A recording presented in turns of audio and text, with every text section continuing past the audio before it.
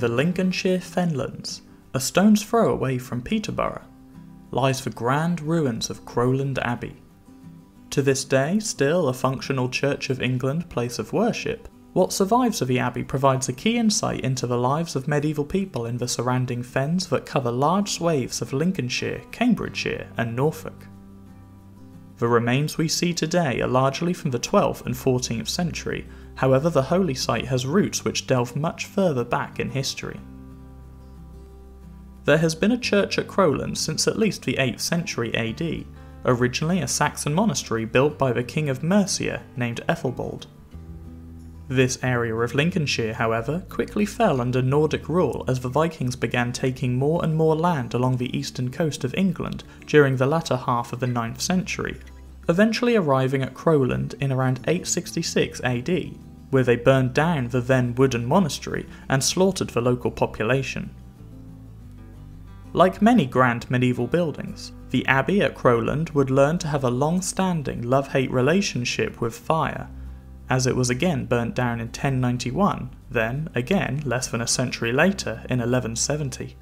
But, if not anything else, these fires prove testament to the importance that Crowland Abbey had during its heyday as a Benedictine monastery, as it was once again rebuilt and quickly became one of the most prosperous abbeys in the entire region. It is believed that the location of the abbey is a key to its success being hidden within the fenlands, with many rivers providing excellent travel routes in all directions, Crowland Abbey took advantage of the fruitful countryside around it, being perfect for agriculture and farming wool from sheep, to which was an incredibly rich trade during the high medieval period. Crowland Abbey surely learned from its sibling churches in East Anglia, notably Castle Acre Priory, Binham Priory, and St Benet's Abbey since just as the wool trade proved vital to their success, this was also true to that of Crowland Abbey. The sheer amount of profit that this Benedictine monastery enjoyed is clear in its construction, as the ruinous remains feature an incredible west end which serves as a beautiful early example of English Gothic architecture, which became all the rage in medieval Britain by the 13th century not to mention the stunning statuettes which remain in place standing on plinths built into recesses on the west end wall and entrance arch. The sheer fact that these survived during the dissolution of the monasteries and the Reformation confirms that Crowland must have remained a highly respected and revered site amongst its local community for century upon century. Other than its isolated location and the usefulness of the surrounding landscape, Crowland had another trick up its sleeve namely the Shrine of St. Guthlac, an ancient Saxon saint.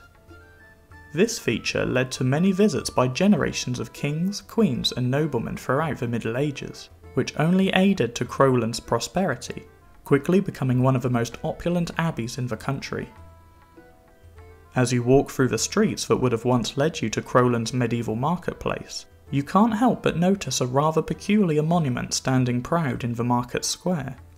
This is the surviving remainder of an incredibly rare example of medieval architecture, a three-way bridge. What we see today is a 14th century bridge, however, a wooden bridge, or multiple bridges, would have been at this site for over a thousand years. This is due to two of the previously mentioned rivers snaking through the countryside of Crowland. The rivers have since dried up and were covered over during the Victorian age, but this stunning medieval bridge survives today as a wonderfully rare example of medieval technology and capability, being the only one of its kind surviving in Britain. As for the abbey's fate, it of course fell foul at the hands of the dissolution of the monasteries in the mid 16th century, and while the nave continued to be used as a place of worship under the new ownership of the Church of England, the surrounding monastic buildings were left to ruin, and largely used as building material in the local area. Stone was not locally available in much of the Fenlands, so the abbey buildings were highly sought after to use for new construction projects in and around Crowland. Indeed, the foundations we see today make up only half of the abbey's original blueprint.